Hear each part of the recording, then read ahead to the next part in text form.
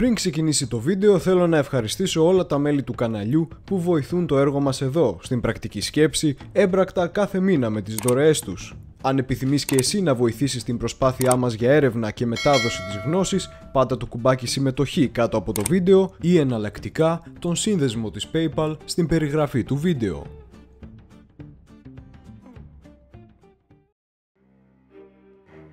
Για να κατανοήσουμε τους λόγους και τις αιτίες του πολέμου του 1940, πρέπει να πάρουμε τα πράγματα από την αρχή και να εξετάσουμε το κλίμα στις ελληνοϊταλικές σχέσεις.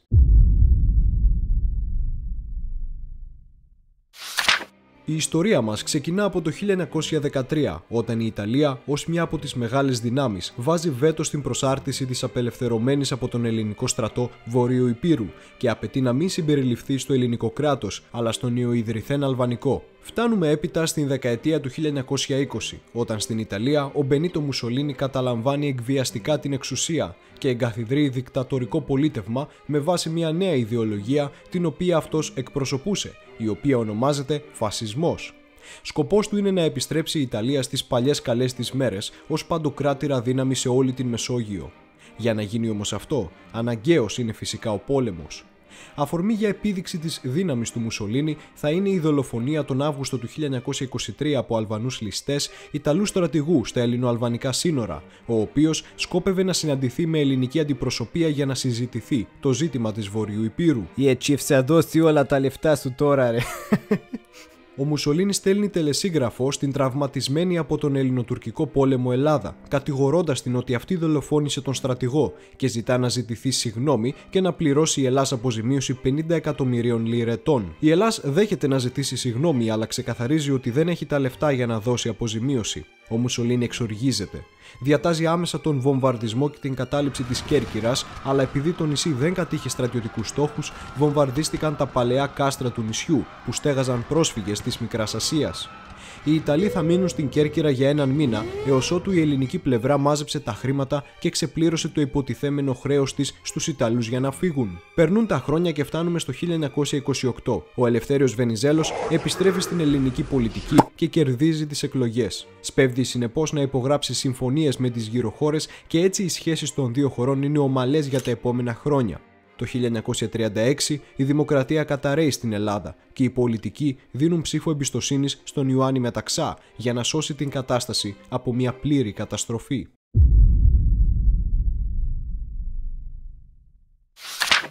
Ο Μεταξάς βλέπει την κατάσταση στην Ευρώπη και θεωρεί ολοφάνερο πως ένας ολοκληρωτικός πόλεμος δεν είναι μακριά. Αρχικά, σε στρατιωτικό επίπεδο, ο Μεταξάς για να μην μείνει η Ελλάδα άοπλη κάνει επενδύσεις 16 δισεκατομμυρίων δραχμών, από το οποίο ποσό 6,5 δισεκατομμύρια πήγαν για εξοπλισμούς για την οργάνωση του στρατεύματος, 1 δισεκατομμύριο για τα οχυρωματικά έργα σε Μακεδονία και Ήπειρο και τα υπόλοιπα στην κατασκευή δρόμων, λιμανιών και των ναυπηγείων Σκαραμαγκά. Αυτά σύνολο για την περίοδο 1936 με 1940, ενώ την προηγούμενη περίοδο 1923 με 36 δόθηκαν σύνολο μόλις 3 δισεκατομμύρια δραχμές για εξοπλισμούς. Ακόμα πιο συγκεκριμένα, στον στρατό έχουμε τα εξής.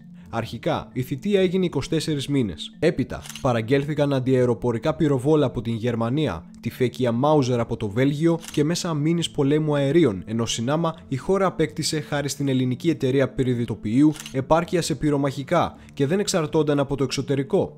Εν συνεχεία, τον Οκτώβριο του 1937 γίνονται στρατιωτικές ασκήσεις στις Σέρες με συμμετοχή 12.000 ανδρών και επίσης γίνονται ναυτικές ασκήσεις το 1938, ενώ παραγγέλνονται δύο νέα αντιτορπιλικά από την Αγγλία. Επιπροσθέτως, άρχισε έρανος υπέρ της αεροπορίας και ως το 1939 η χώρα πρόφτασε να παραλάβει 130 πολεμικά αεροσκάφη. Επιπλέον, παραλάβαμε όλμους, αυτόματα όπλα, 120.000 τουφέκια, άρματα μάχης, δεκάδες αυτοκίνητα παντός είδους, φορτηγά αυτοκίνητα, δεκάδες κινητά συνεργεία, επιπλέον 100.000 πτυοσκάπανα για τους στρατιώτες, ενώ πριν υπήρχαν μόλις 10.000, εκατοντάδες χιλιάδες στολές ηματισμού, ενώ πριν υπήρχαν μερικές χιλιάδες, εκατοντάδες χιλιάδες προσωπίδες, μάσκες αντισφυξιογόνες δηλαδή, ενώ πριν είχαμε μόλις 4.000. Επίσης, γίναμε πλήρεις σε σφαίρες και υγειονομικό υλικό. Δεν είχαμε καθόλου υγειονομικό υλικό πριν και εισήχθησαν κτίνη αξίας εκατομμυρίων δραχμών, δηλαδή τα γαϊδουράκια και τα άλλα άλογα που βοηθούσαν τους στρατιώτες να κινούνται στην Πίνδο.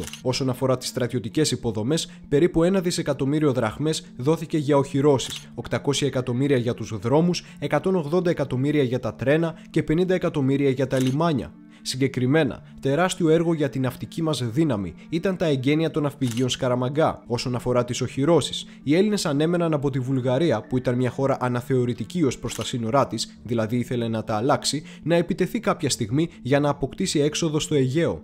Ο Μεταξάς προφανώς το γνώριζε τούτο και γι' αυτό προχώρησε στην δημιουργία της γραμμής Μεταξά, στην Ελληνοβουλγαρική μεθόριο. Από την πλευρά της Αλβανίας όμως, οι οχυρώσεις άργησαν να ξεκινήσουν, διότι η ελληνική πλευρά δεν περίμενε οι Ιταλοί να προσαρτήσουν τελικά την Αλβανία.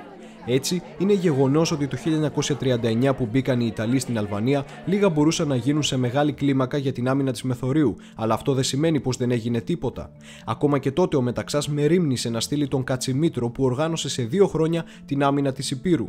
Έφτιαξε πρόχειρα αντιαρματικά εμπόδια, έφτιαξε πολυβολία και έκρυψε τις θέσεις των πολυβόλων σε ορεινές σπηλιές. Όσον αφορά τον διοικητικό τομέα, δόθηκε προώθηση στην βιομηχανική παραγωγή του στρατιωτικού τομέα και ευνοήθηκε η δημιουργία ιδιωτικών εργοστασίων εργοστασίων για την εθνική άμυνα, όπως εργοστάσια παραγωγής χάλιβα, σόδας, ασβέστη και πραγματοποιήθηκε αύξηση της παραγωγής πυρομαχικών. Επιπροσθέτως, αγοράστηκαν μηχανήματα για τον εξοπλισμό των εργοστασίων με δεκάδες εκατομμύρια δραχμές να δίνονται για το σκοπό αυτό και έγινε προσπάθεια για την όσο το δυνατόν περισσότερη επάρκεια της χώρας σε καύσιμα. Τέλος, μην ξεχνάμε την οπισθοφυλακή του ελληνικού στρατού στα μετόπισθεν, που φυσικά ήταν η ελληνική νεολαία. Η ΕΟΝ εκπαιδεύεται σε όλους τους κλάδους της επιστράτευσης για να να προστατέψει τα μετόπισθεν εν καιρό πολέμου. Το κύριο σύνθημα ήταν: Ο πόλεμος για κανέναν δεν αποτελεί κατάσταση επωφελή ή πηγή εσόδων. Σε διπλωματικό επίπεδο, ο Μεταξάς διατήρησε στενή φιλική πολιτική σχέση με την Αγγλία και τη Γαλλία, ενώ προέδρευε τη λεγόμενη Βαλκανικής Συνεννόησης μεταξύ Ιουγκοσλαβίας, Τουρκίας, Ελλάδας και Ρουμανίας.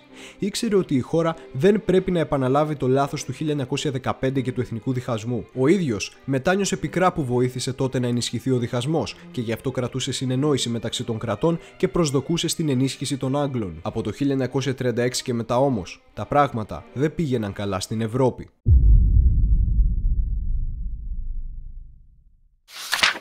Η Γερμανία και η Ιταλία πλέον έδειχναν ξεκάθαρα τις επιθετικές τους διαθέσεις προς τους γείτονές τους. Ο Μεταξάς αγωνιούσε πως το κακό θα έρθει σύντομα και στην Ελλάδα. Το 1939 το σύμφωνο μεταξύ Βενιζέλου και Μουσολίνη είχε λήξει και ο Μεταξάς, που επεδίωξε την ανανέωσή του, δέχθηκε την αρνητική απάντηση του Ντούτσε.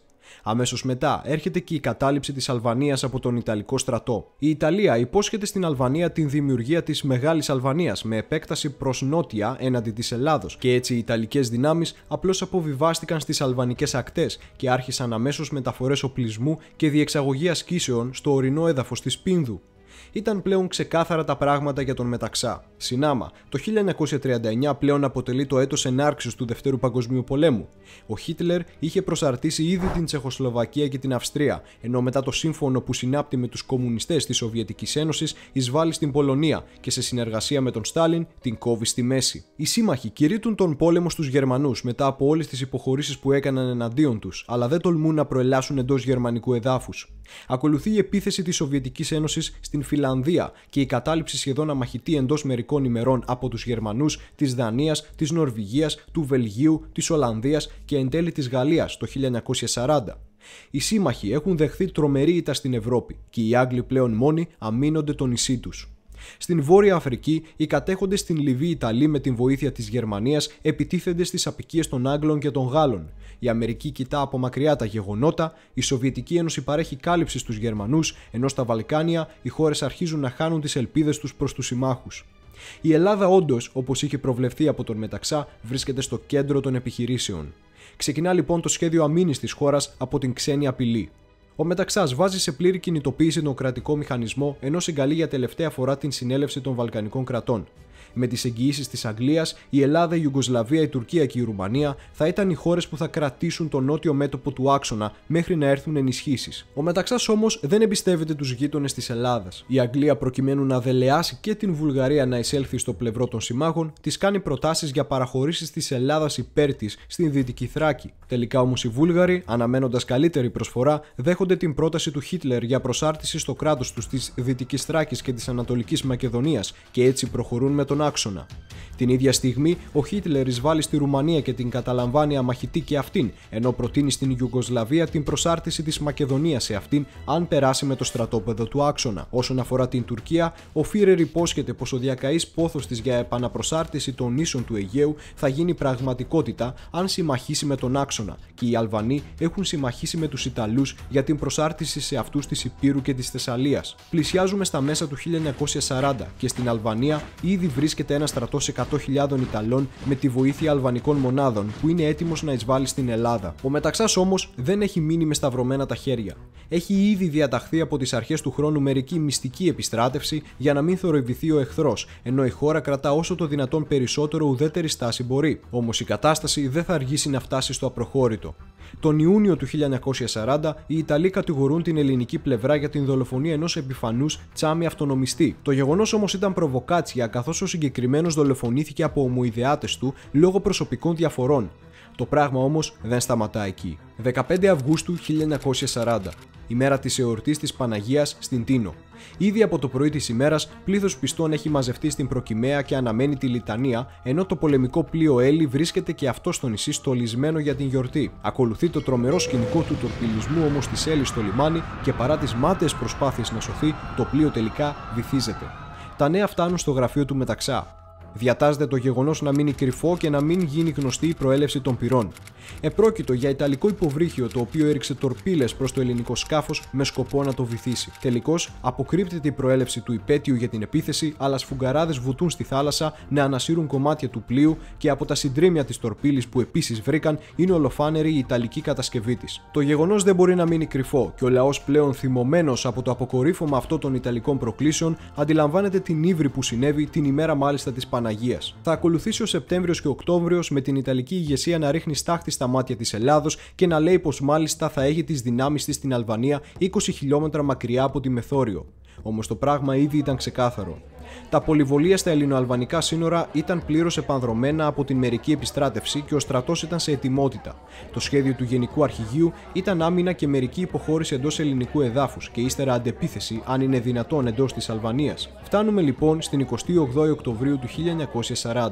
Τα χαράματα, ο Ιταλός πρέσβης Γκράτσι φτάνει στην οικία του Μεταξά και ζητά από τον θηρορό του να ξυπνήσει τον Έλληνα πρωθυπουργό. Ο Μεταξάς ξυπνά και βλέπει από το παράθυρο τον Γκράτσι στην είσοδο. Λέει να του επιτραπεί να εισέλθει. Η ώρα είχε φτάσει. Κάθονται στο σαλόνι και ο Γκράτσι του παραδίδει το τελεσίγραφο της Ιταλικής κυβέρνησης. Η Ιταλία απαιτεί να της επιτραπεί η διέλευση των στρατευμάτων της άνευ αντίσταση στην ελληνική επικράτεια και να της γίνουν ορισμένες εδαφικές παραχωρήσεις. Τα στρατεύματα θα εισέλθουν στις 6 το πρωί. Τα χέρια του μεταξάρχησαν να τρέμουν, αλλά μάζεψε τις δυνάμεις του και κοίταξε με βλέμμα αυστηρό τον Ιταλοπρέσβη. Κλείνει το γράμμα και αναφωνεί. Λοιπόν, Έχουμε πόλεμο. Ο Γκράτσι όμως του λέει πως αυτό δεν είναι απαραίτητο. Ο Μεταξά όμως ξέροντας πως για να πάει η Ελλάδα με το πλευρό του άξονα θα ακροτηριαστεί εδαφικά από την Ήπειρο στα αριστερά της και από την Θράκη στα δεξιά της, απαντά λακωνικά. Όχι. Είναι απαραίτητο. Σηκώνεται και οδηγεί τον Ιταλό πρέσβη προς την πόρτα. Του λέει: Είστε όντως πιο δυνατοί. Αλλά. Αυτό το αλλά θα το αποδείξει ο ελληνικός στρατός στα βουνά της Υπήρου. Ο Μεταξάς αμέσως συγκαλεί συμβούλιο των Υπουργών και καλεί τον Βασιλέα, και ομόφωνα όλοι συμφωνούν η Ελλάδα να αγωνιστεί για την ελευθερία της. Παρ' όλα αυτά, για το όχι αυτό έχουν υποθεί πολλές ανακρίβειες με την κατηγορία πως δεν ήταν συνειδητή επιλογή του Μεταξά, αλλά καθοδηγούμενη από ξένα κέντρα. Θα πούν κάποιοι. Ο λαός πολέμησε τον κατακτητή. Αυτός είπε το όχι και όχι ο Μεταξάς. Το ένα προφανώς δεν ακυρώνει το άλλο. Ο Μεταξά ω ηγέτης έδειξε τον δρόμο της εθνικής αξιοπρέπειας και ο λαός του, που τον εμπιστευόταν ως αρχηγό του, ακολούθησε την διαταγή του που εν τέλει έγινε διαταγή ολόκληρου του έθνους προς τον εαυτό του. Έτσι ο Μεταξάς αποφάσισε να πει το όχι και ο λαός αποφάσισε να το κάνει πράξη στα βουνά της Αλβανίας. Εν συνεχεία, και πάλι ο Μεταξάς τίποτα δεν έκανε για να οδηγήσει τον λαό. Τι, Δηλαδή το έθνος ξαφνικά την 28η Οκτωβρίου έμεινε ακέφαλο χωρίς ηγεσία και η επιστράτευση εν τέλει 300.000 ανδρών, η οργάνωση της μεταφοράς τους στο μέτωπο και οι πολεμικές επιχειρήσεις οργανώθηκαν από μόνες τους. Δεν τα έκανε ο Μεταξάς αυτά, ο ΕΟ. Και εν τέλει, ε και πάλι το όχι το είπε επειδή οι Άγγλοι τον πίεσαν. Σοβαρός. Δηλαδή αποφάσισε να βάλει την χώρα σε πόλεμο επειδή τον φόβησαν οι Άγγλοι ότι για παράδειγμα τι θα τον σκοτώσουν. OK, okay, ας το πάρουμε έτσι και απευθείας ας χτυπήσουμε το κεφάλι μας στον τοίχο για να το αδειάσουμε από μια τόσο πρόχειρη σκέψη. Εφόσον τόσο πολύ πιέστηκε και δεν ήθελε καν να αμυνθεί, γιατί απλά δεν παραδόθηκε την 28 Οκτωβρίου στους Ιταλούς; Όχι, όχι φίλε, ακόμα καλύτερο. Γιατί απλά δεν παρετήθηκε από την θέση του για να επικρατήσει χάος στην Ελλάδα και οι Ιταλοί απλά να κάνουν περίπατο; Έπειτα θα τον έβαζαν κατοχικό δικτάτορα να τους κάνει τα κουμάντα και με αυτόν τον τρόπο ο φασίστας μεταξάς θα ολοκλήρωνε το όνειρό του να μην αμυνθεί. Οπότε γιατί αντί για αυτό να πάρει τον δύσκολο δρόμο του πολέμου 6 μηνών και εν τέλει να μην προλάβει καν να γίνει κατοχικός δικτάτορας γιατί πέθανε τον Ιανουάριο του 1941, τι τον σταματούσε από το να κάνει τα παραπάνω, προφανώς τίποτα. Γι' αυτό το λόγο η επιλογή του όχι ήταν 100% συνειδητή επιλογή. Η Ελλάς βρίσκεται σε πόλεμο.